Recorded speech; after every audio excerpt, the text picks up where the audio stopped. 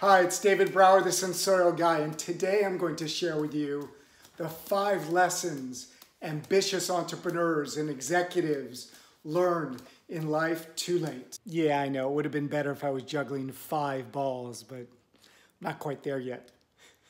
Firstly, that dynamic life balancing is completely underrated. The ability to be able to find the dynamic balance in your life and your relationships is everything. If you're able to constantly readjust and fine tune and focus on that, it changes dramatically the quality of your life. For me, cooking's the ultimate metaphor. The dosage, the amounts, the balance of the spicy, salty, sugary, sweet, bitter, coming up and using all these contrasts, these different facets to come up with something that's absolutely magnificent. And every dish, at every meal, has a different balance. It's a dynamic balance. But if you use too much salt,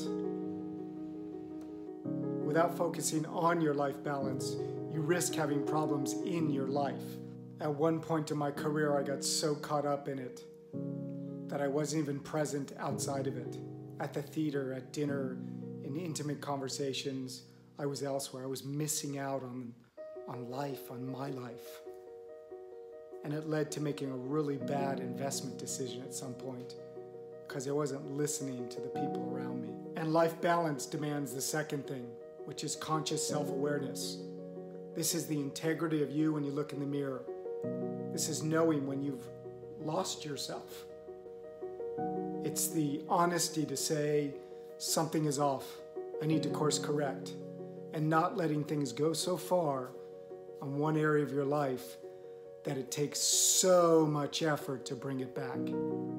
Conscious self awareness is a choice, it's a discipline, it's a practice, it's a way of being and living in the world, and you can learn it.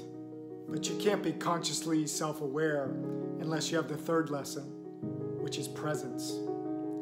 The art of focusing your awareness, your concentration to where you are, where you find yourself, the be here now. And that's the tool, that's the mechanism, that's the way to be actually very conscious of what's going on, where you are. Appreciation. For without presence, you can't appreciate what you're experiencing, including through your senses. Appreciation is a demonstration that someone is significant to you.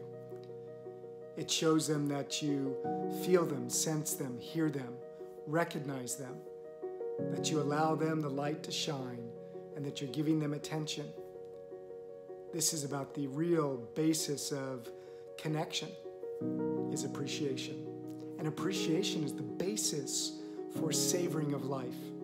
That the voyage is the destination. So how do we appreciate it as deeply, as richly, as wonderfully, as colorfully as possible? Appreciation gives meaning to our lives. What you appreciate appreciates. And appreciation leads to the next lesson meaningful conversation. Once you have all of these lessons lined up, you get to the juice of the matter. In your relationships at home, you're able to have the kinds of conversations that lead to better decisions. So you don't screw things up. It leads to more enriching and enjoyable and open conversations, which is the stuff of life. This way you can actually get through way more easily with less effort and more grace, more elegance if you wish, and more effectiveness to have the conversations that are easy, hard, and very difficult. And it's all about the way that you communicate with each other. We can say anything to each other. It's in how we say it to each other that makes all the difference. If you're not having meaningful conversations in your life, you're gonna run into problems big time. Meaningful conversation clears out the misperceptions, the confusions, the misinterpretations, the misunderstandings between you. It's not about always agreeing, but it's about having the conversations in a meaningful way.